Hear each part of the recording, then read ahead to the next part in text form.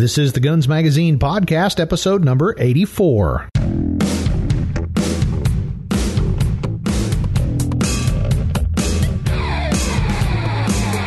Hi there, and welcome to the Guns Magazine podcast. I'm your host and the editor of Guns Magazine, Brent Wheat. Thanks for joining us as we talk to the interesting people who make up the world of shooting, hunting, and the firearms industry. Before we get started, let's talk about our great sponsors. 1791 Gun Leather is the presenting sponsor of the Guns Magazine podcast, and they'd like you to know their appreciation for the Second Amendment fuels their passion for gun leather and its representation of the original patriots of this great nation. 100% certified American steer hide joins four generations of professional leather artisans, creating the perfect firearms holsters. Carry your firearm with pride, knowing that each 1791 gun leather holster is handcrafted to be the best holster for your firearm. See their full product lineup at 1791gunleather.com. The supporting sponsor of the Guns Magazine podcast is Hodgdon Powder. Available in granular powder and pellets, Hodgdon's family of 777 powders gives muzzleloading enthusiasts a quick cleaning, low odor black powder substitute for rifle and pistol applications. To learn more, visit hodgdon.com. Today, we're talking with Jade Moldae, the editor of Shooting Industry Magazine. He recently attended the National Shooting Sports Foundation's congressional fly in, where he spoke to several U.S. representatives and congresspeople about concerns facing the gun industry. In part two of our talk, we tackle the current ammo shortage and the accompanying price spikes, since Jade recently commissioned a major article for shooting industry on the topic. Now, here's my talk with Jade Moldae.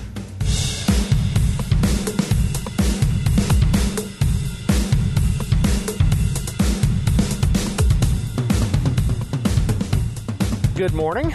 Good morning, Brent. Thanks for having me on today. Well, Jade, I was really excited to have you on. We had a, a, meeting earlier today, and you mentioned that you recently attended the National Shooting Sports Foundation Congressional Fly In, and that means folks from our industry get to talk directly to our lawmakers in Washington, D.C., and I'm sure uh, you heard some interesting stuff, and uh, maybe some folks gave them an earful, too.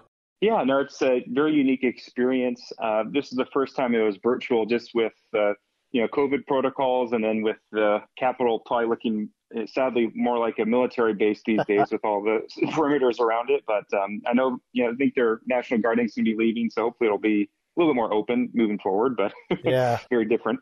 Well, what is the general purpose of this thing? I know it's been going on for a number of years, and you've participated in it. Um, and to me, that's a cool thing that you know we can actually one-on-one time with with our uh, national representatives. But what's what's the general purpose of this whole event? Yeah, the general purpose of the event is uh, so this was the 13th uh, fly-in. Last year didn't happen, obviously, with thanks to the pandemic, but um, previous 12 years had been consecutive, and uh, just an opportunity for the industry to be able to talk directly with lawmakers is is as straightforward as that sounds. It's actually a really unique opportunity. A lot of logistical efforts, but uh, there's generally, I think, you know, this year there are five teams, could be up to seven teams that or so that that attend, but it gives us a chance uh, as the industry, as uh, presidents of companies, dealers who own their own retail stores, wholesale distributors, providing their perspective, all all corners of the industry, um, their main leadership are able to attend the event and tell uh, elected officials uh, how potential legislation impacts their businesses firsthand and just providing additional context and you know hearing from directly from the source rather than than secondhand from a lobbyist. So it's a kind of refreshing take for them. Well there's two sides to that equation the elected officials and the industry. What would you say uh, if you can draw a using a very broad brush uh, what's kind of the the feeling or the consensus from the industry side of things speaking now politically uh, I would say, um, I mean, there are some legitimate concerns the industry has with some of the legislation. I know with a, you know, Democrat-controlled Congress uh, on the House side, it's the the majority is shrinking for them, and maybe it can be turned around in 2022. And on the Senate side, it's an even Senate makes things difficult. And I know one of the things that were of kind of a, a priority during the uh, the fly-in was the uh, nomination of David Chipman, and that's a Senate confirmed position. And so it's a you know 50-50 Senate right now, and if it, people were to vote down party lines, it'd be then broken by our our favorite vice president, wow. Miss Harris. But um, so that so there is like really concern there from the industry and uh, trying to you know talk with lawmakers how different things would be impacting them. Uh, so that, but overall, I, I think it's a uh, I you know, hadn't been involved in fly-ins previously to I've been doing the last five years of this fly-in, but compared to other groups, I'm not sure how they're run, but ours it's, it's very structured and very cordial. Um, you know, everyone's you know really respectful of, of each other and just you know talking to the representative. It's um, you know, a very neat event in that sense. Well, I was gonna, we were gonna talk about the Chipman nomination later on, but hey, you brought it up. Let's, let's tackle it right now. This guy is a flaming wrong number as a potential director of the uh, Bureau of Alcohol, Tobacco, and Firearms. Is that pretty much the, did the industry lay it on the line to our representatives about that? Yeah, they did. And they were, you know, like as I noted previously, you know, cordial and respectful about it. But yeah, absolutely, the the industry is vehemently opposed to his nomination. And one of the powerful uh, parts of our conversation with the elected officials, the congressmen and senators uh, during the fly-in was this is actually the first time the industry. Uh, by and large, NSSF included, is opposing a, a nominee, which actually yeah, oddly enough, uh, the only so this became a confirmed position by the Senate in 2006. Since 2006, there's only been one confirmed uh, full-time director of the ATF, and that was uh, President Obama's nominee, uh, B. Todd Jones, and he was confirmed in 2013. Previously to that, and and since then, every director has been serving in an acting capacity. Uh-huh. So. Uh, it says something that we were you know, able to show us with the congressmen and, and women during the fly-in that the, the industry actually supported Obama's uh, nominee, and that David Chipman, just with his background and his rhetoric uh, in the beginning of the pandemic, were telling people to you know, keep their guns behind their their cans of tuna and beef jerky during yeah. during the during the gun buying uh, peak. Uh, you know, says a lot. So. Well, then, how was the message received on the other end? So by and large, and I, I must clarify, I, I, misspoke just previously. We didn't speak to representatives. We talked about it, uh, you know, more informally with uh, with the those in Congress on the House side, just because they're not involved in this process, but on the Senate side, uh, they they did hear our, our message, and it did you know they they uh, it definitely caught their attention, so to speak, when we had said that this was the first time the industry is opposing a, yeah. a nominee for ATF. And uh, you know, we actually were able to speak with uh, Senator Cotton's, not himself. He was actually during it was literally in the hearing when we spoke with his staff, but they uh, he had a, um, a, viral exchange with with the uh, with the nominee about defining what an assault weapon was, and uh, you know made it broadened the the brush, so to speak, on what an assault weapon is in, in his view, and he's very much in favor of outlawing them. But he was obviously quick to say in the hearing that he would only follow the law, but at the head of the ATF, you know, making those laws and kind of putting that burden on Congress, but he also has his own agenda throughout uh, the process as well. Well, and I, think that's what's got everybody concerned. He's been very partisan, and he absolutely has an agenda that he has pushed, and uh, that's pretty scary when uh, you have the guy at, at the head of an agency that is so significant to what we do and, and to our industry um, that he is. Uh, there's no question in anybody's mind on any side of this issue. Uh, David Chipman is anti-gun. That's that's the end the end all be all. And it speaks volumes. He he, he previously was a lobbyist for Everytown for gun safety and currently employed for Giffords. Which, quick side note, uh, Senator uh, Kelly from Arizona is co-founded it with his wife, and so he would be voting on this. So conflict of interest, perhaps there. Yeah, you um, think.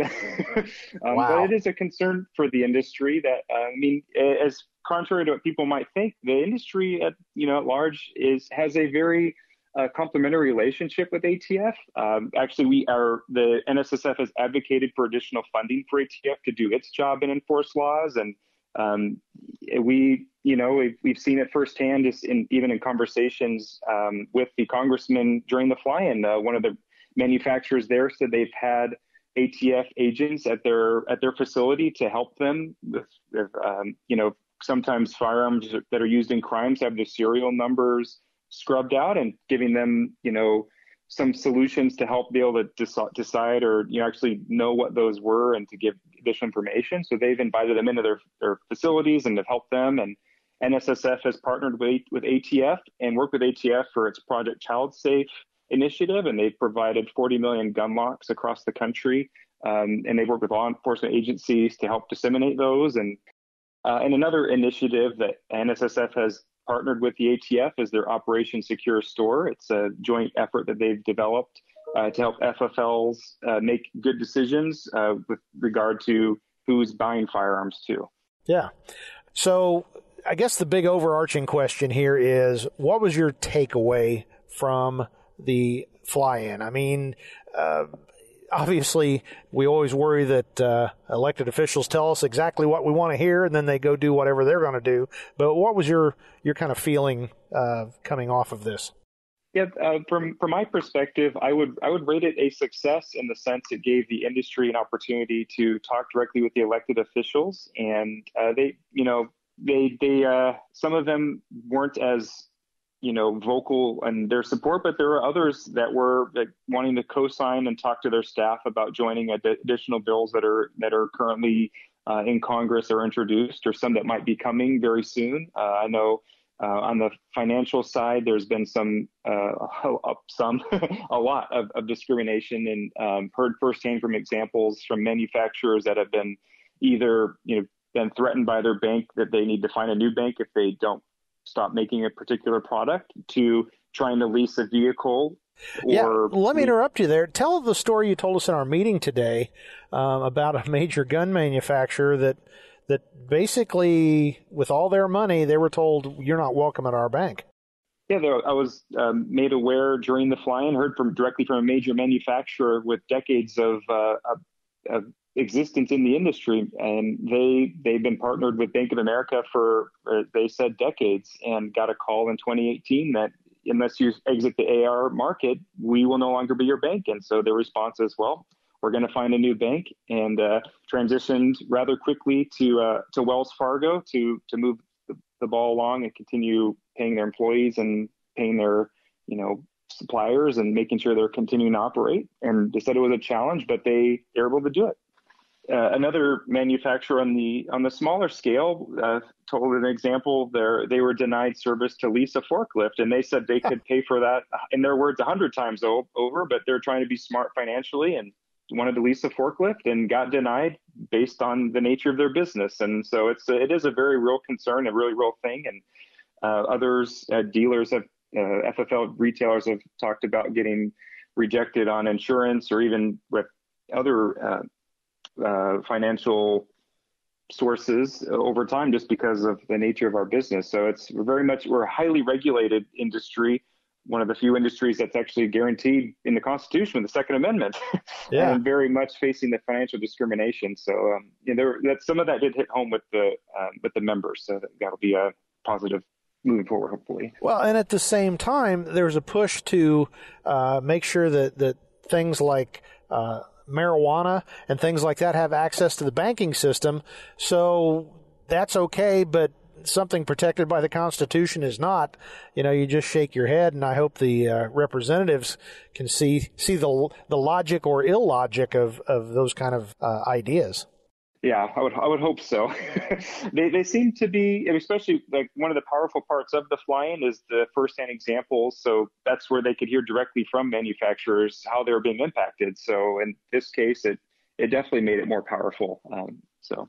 So do you come away from this a little more hopeful that maybe things aren't as as uh, doom and gloom as many of us feel it is, given the current administration and, and state of uh, Washington in general?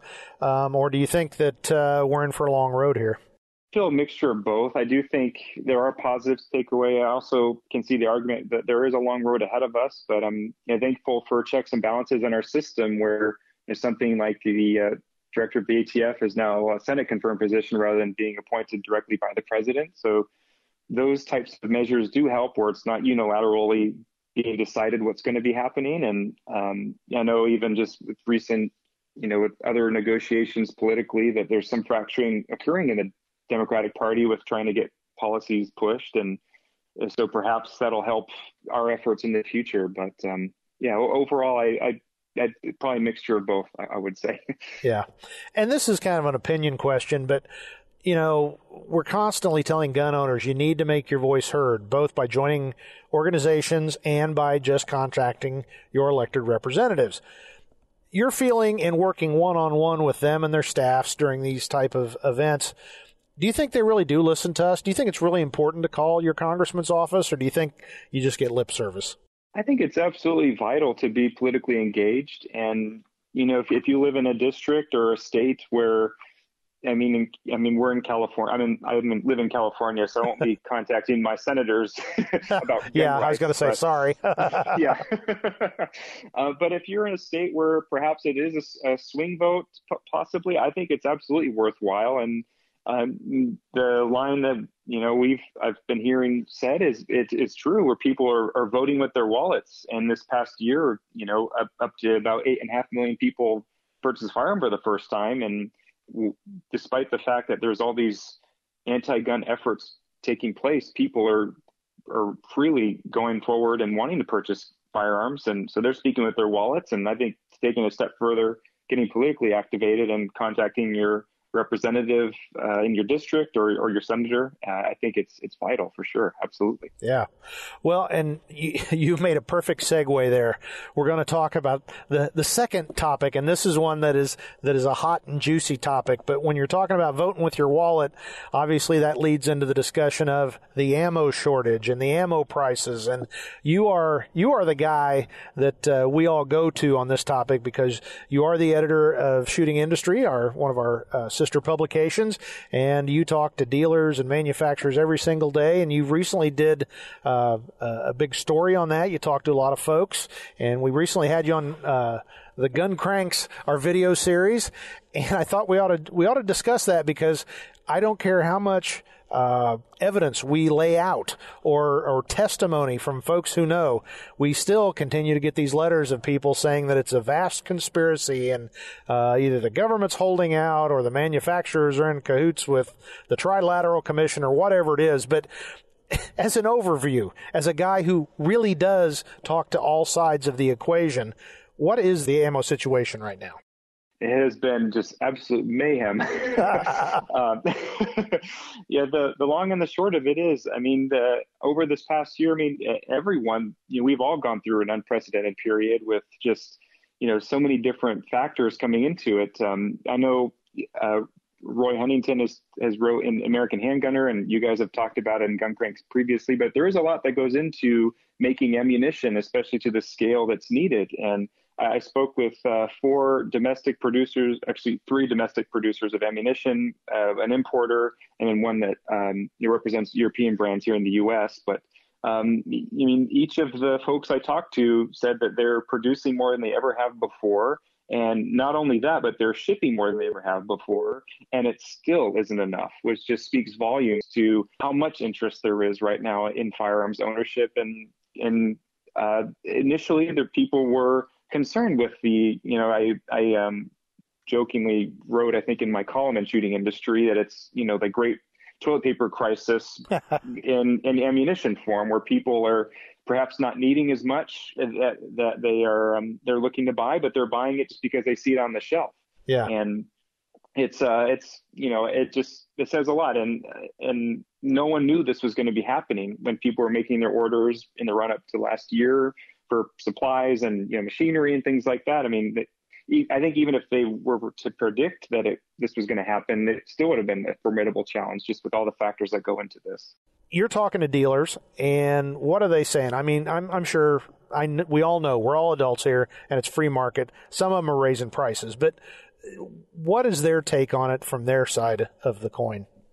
Uh, so the dealers are in a difficult position, and uh, yes, there are dealers that have said that, especially with the first-time buyers, they, you know, can willingly raise prices, and that's that's to their their decision. Um, but then there are also those dealers that have said that they are not going to be doing price gouging, and they want to develop long-term relationships with these customers, and you know, try to, to not have them be a one-and-done type of customer.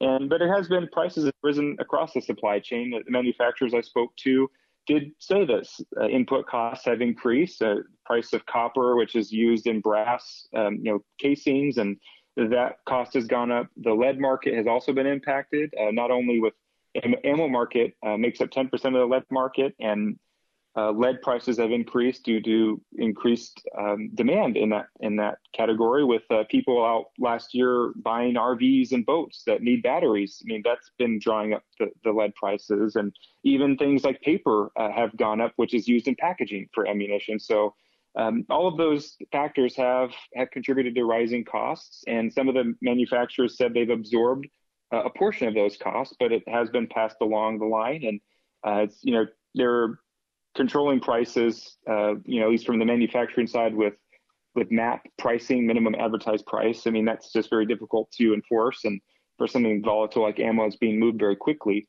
Um, so it's all those factors are in place. Um, and yeah, I guess a, a, long answer to a short question is there are there are people that are rising prices, and that's to their you know uh, their prerogative, I suppose. But then there are that are trying to keep it at cost as much as possible and hoping to develop long term relationships. So as you said before, vote with your wallet. exactly. And before, because we've gotten the criticism, well, you're just shilling for the, the dealers. Not, no, it, it, if they raise their prices and you don't think that's right, then go elsewhere. Otherwise, my suggestion is just quit buying ammo so so much so fast. And I, I know I've got a lot of friends that, well, I just bought another 500 rounds, and I'm like, why? Well, you know, it, it was available, and I don't know what's going to happen. Well, you know, if you've only got one or two boxes, okay, maybe you need some more ammo. But I know people that have entire garages full of ammunition. They've got far more ammunition than I've got.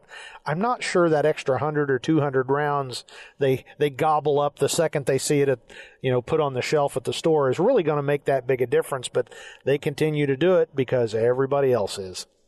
Yeah, and I know like even with primers too, that's a concern for reloaders and it's just it's everything is just being impacted. And so you know that's one of those cases where there's this literally hundreds of millions of rounds that were not accounted for last year with all these new buyers. So i think if we all just kind of settle down a little bit and give ammo manufacturers the chance to catch up uh, that would that would help. Yep and and I know prices are coming down in some instances, and there's better availability. Remington is now back online. I know somebody that just got 250,000 rounds from them, which is a drop in the bucket, but it's it's a lot more than they had been shipping because they were on hiatus for a year uh, while Remington went through its troubles. So, uh, Big Green is back throwing ammo out from their plant you know, that was great to see that. I, I think that's definitely going to help. And in the interview, also, some of the manufacturers did highlight the absence of Remington ammunition as a factor in, in the shortage. Obviously, there are many factors, but now with them back online again, that's absolutely going to help things. Yeah, because that's a huge plant, and they put out a lot of ammunition. So having a major player back online is a good thing. Well, you know, in closing, I, I just was sitting here thinking, and this is a question that we have not discussed you know, w- one thing that everybody's uh, upset about gun shortages, and certainly we've got political headwinds and just disorder, and things are just really squirrely now. But you know, I would be interested to get your take on the fact that the firearms industry is so flush with cash right now. Um, I can't uh, think of a time when other than maybe not even like when the assault weapon ban came in under Clinton, everybody went crazy and bought bought uh, guns and receivers, but now it's everything ammunition, any kind of gun, any type of gun, used guns, new guns. The industry is, is flush right now.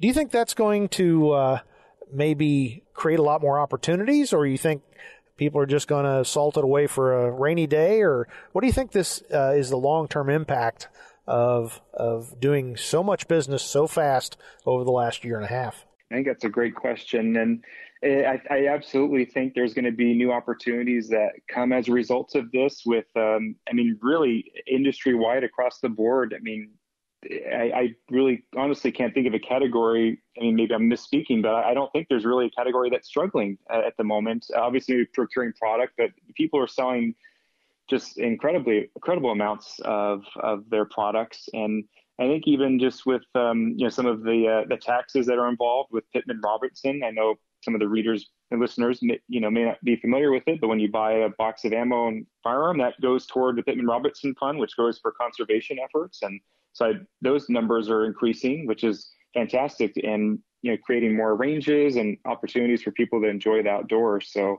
I, I do think that is going to be the case where there's going to be more opportunities. And we interviewed some dealers also, and they, you know, kind of saving it for a rainy day, some of the funds that they have, but others are looking to reinvest into their storefronts, reinvest into upgrading different parts of their facilities and uh, making the shooter experience um, more of a, a, just positive, fun experience. So I think that's one of the things that the industry should continue striving to do is highlighting the fun side of the of the shooting sports. Well, we try to highlight it. Believe it or not, the good old days are right now. Yeah, and actually, I was even um, you know reviewing the 2010 decade because one of the reports we're working on, we examined the uh, product firearms production data and just evaluating the firearms. Uh, specifically, I was focusing on nine millimeter handguns, but the number of lines that were introduced in the 2010s. You have the Shield, SIG P320, SIG P365, the Hellcat at the end of the decade. I mean, that's incredible, just the amount of the innovation that's gone into the industry. And the, those lines are just incredibly popular and yeah. just a joy to shoot. Yep. Well, Jade, it's been great talking to you about the state of the business. I think we would be remiss. I already mentioned you are the editor of Shooting Industry, one of our sister publications, and it is geared towards uh, folks that work in the industry, FFL holders, gun dealers, manufacturers. But uh, whether you're an industry insider or you're just a interested shooter that likes to know a little bit bit more about the industry, how can they learn more about shooting industry? Yeah, you can go to shootingindustry.com, and on our website we have um, links to current news. Uh, obviously, links to stories that we have in the magazine, and it uh, comes out monthly to, to storefront dealers, and it goes out to across the country to about twenty thousand of them. And uh, it's a publication that just covers the ins and the outs of the industry. So, you know, for those of you that might be interested into more that goes into the industry and how dealers operate and the thought process that they have and just really even putting yourself in their shoes at the risk that they have involved with what they do. And um, just if you want more information it's we have a lot out there uh, for the industry. Well jade thanks for talking to us on the guns magazine podcast. Thanks brent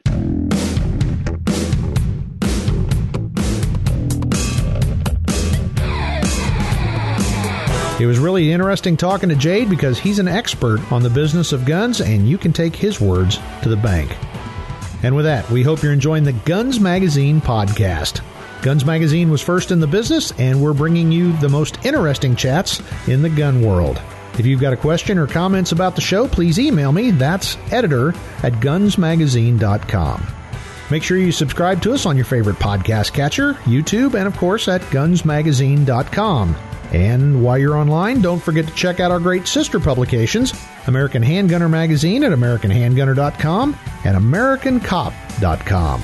We'd also appreciate it if you'd share a favorite episode or some kind words on your own social media. And finally, don't forget to check out the presenting sponsor of the Guns Magazine podcast, 1791 Gun Leather. Learn more at 1791gunleather.com. That's it for this episode of the Guns Magazine podcast for the entire staff at FMG Publications. I'm Guns Magazine editor Brent Wheat. Now get out there and get shooting.